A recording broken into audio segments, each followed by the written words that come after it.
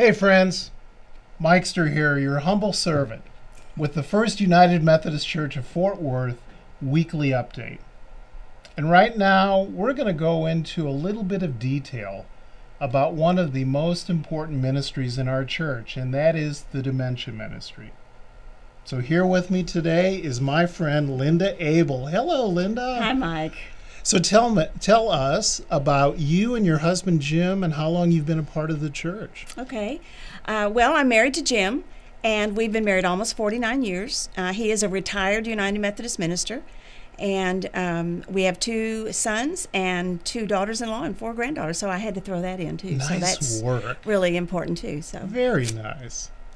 Well, you've thrown yourself into this, haven't you? I mean, you, you claim that you are retired from nursing, but Yeah. there's nothing retiring about you right now.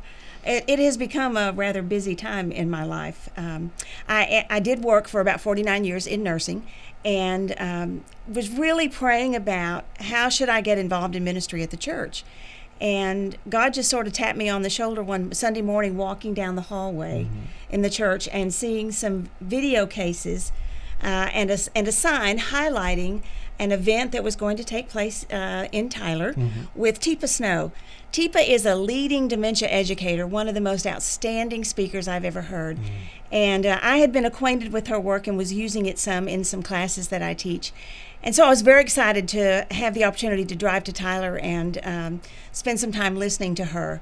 And that just, as I asked some questions about that and visited with uh, Bill Longsworth about getting involved in the dementia ministry, I really just kind of got into it in a big You way. did, didn't you? so it has really uh, developed into something very special and very exciting. It has. Yeah. And it and it seems like it's not just for our church, it's it's also for the city of Fort Worth, correct? that's one of the most exciting things that's happened is as we got involved in this and started learning more about dementia and services and programs that are out there and available I discovered this program called Dementia Friendly America. This is a national initiative to make communities across the United States more dementia friendly and got to visiting with folks uh, providing services here in Fort Worth and we talked about what would it be like if we in Fort Worth could become dementia friendly. And everyone that I talked to was very excited about it, but there wasn't any organization that really had the time to take the lead. And so, being retired, uh, we, thought that perhaps First Church might become the organization that would take the lead. So we are very excited that we have been able to do that. Um, this is an initiative to develop um, dementia friendly practices to dementia, uh, develop dementia friends across the city. Uh, we've already had our big kickoff. Uh, Mayor Price is on board and, and supporting this for us. And so we're in the midst now of doing a lot of education programs that are not just for our church, but for people around the city and encouraging people to learn a little bit about dementia so that they will be more comfortable being around people with dementia. Unfortunately, in our society, people with dementia often get pushed to the side. And even in the church, we find that as dementia progresses, people tend to self isolate. They become mm-hmm. less comfortable, mm-hmm. and their family members become less comfortable bet. because we don't know how to relate to them. So if we can learn a little bit about dementia and learn how to be comfortable with people with dementia and learn how to approach them so that we don't trigger some of the behaviors that sometimes make us shy Mm-hmm. Yeah, off. yeah. And that's one of the most exciting things about this is that we have Teepa Snow scheduled to be in our church on September 7th and we are so excited about that. You have to book her a long time in advance so we're really excited that September is She's now getting deal, closer. she? She's a very big deal. Yeah.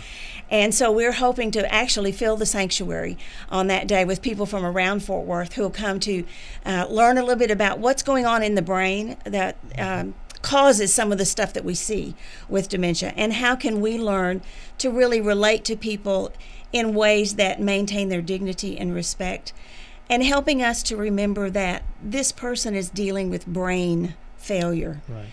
and they need our patience. As Teepa says, we're the ones with the big brains.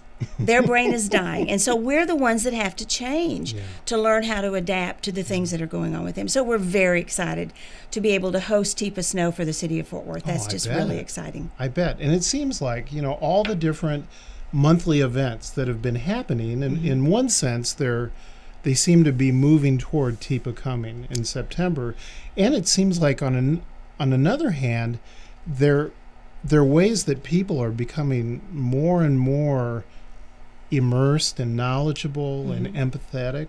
Are you hearing things from people about w- what this has been like for them? We are. It's been real interesting to hear people uh, talk to me about letting me know that they have a family member. Yeah.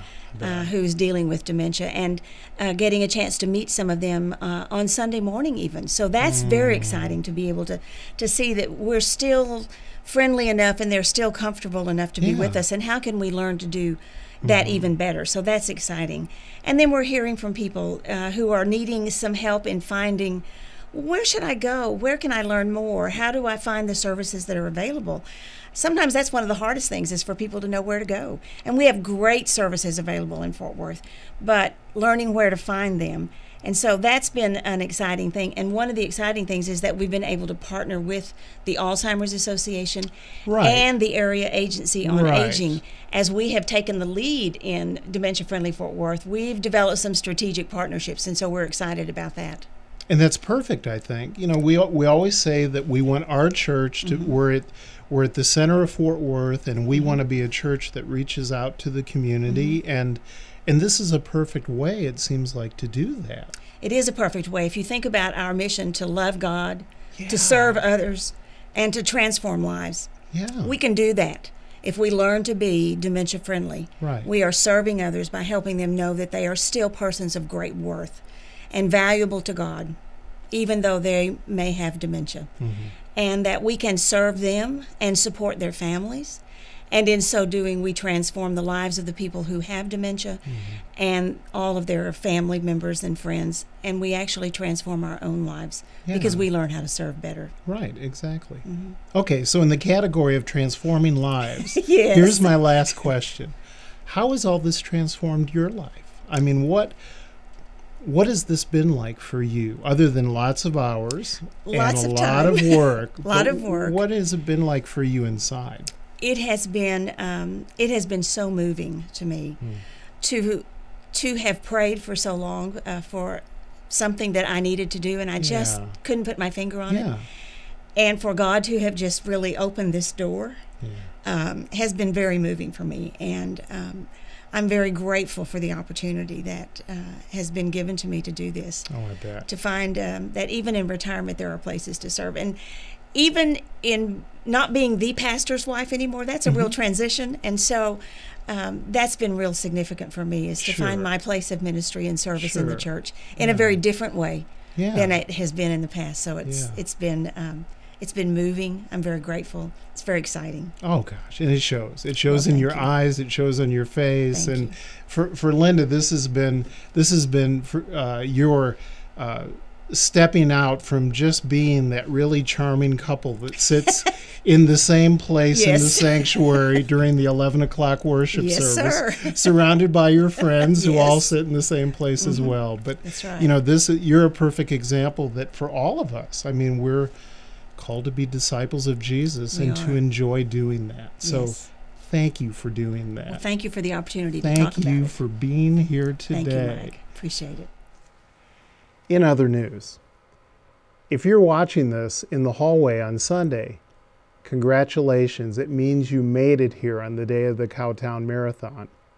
If you're watching this uh, online during the week before Sunday, you may still want a reminder of what's going on. So, we've got our incredibly charming, insightful, and he's really in on this Western thing, the Mikester, your Cowtown correspondent. Let's talk about the Cowtown Marathon for a moment. One of the great traditions in Fort Worth. This is the 40th anniversary year. It is the largest event like this in North Texas. We're proud to be a church that's in downtown Fort Worth, which is part of the route for the actual marathon, which is on Sunday, February 25th. You may know this from past experience you can't get downtown by just taking any route that you normally take on a Sunday morning. I know I'm like you, I'm a creature of habit, I go on autopilot, but this is a time to really come prepared. And we want to help you with that. So we have directions that you can find to the church. They're available on our website. They're available in our e news. They're available in print on Sunday mornings in all of our worship bulletins. Um, if you absolutely can't make it, or if this is more than you really want to try to handle, we certainly get that. And if that's the case, then we invite you to live stream our worship services. You can live stream the gathering, you can live stream 1111, you can live stream the 11 o'clock sanctuary service. Our preference is to see you in person, but we always want you to know that we look forward to you worshiping with us. Thanks, Mikester, for your fine work. Two last reminders. Next week on Thursday, March 1st, we invite you to come to the sanctuary at 7 p.m. The concert that night will feature the SMU Meadows Chorale, and then they're going to be with two excellent high school choirs from Birdville and Northwest ISDs. Please be with us for that evening. And then the next day, for those of you that look forward to the UMW monthly luncheons. Friday the 2nd is your deadline to get your reservation in, and you'll want to do that because at that luncheon in March, you'll be able to get your tickets for the annual fundraiser that happens during the month of April. More information about that coming up. That is, it's fun, it's elegant, and what it does for outreach is amazing. And truly, that is all for now. And yes, this has been your moment with Mike.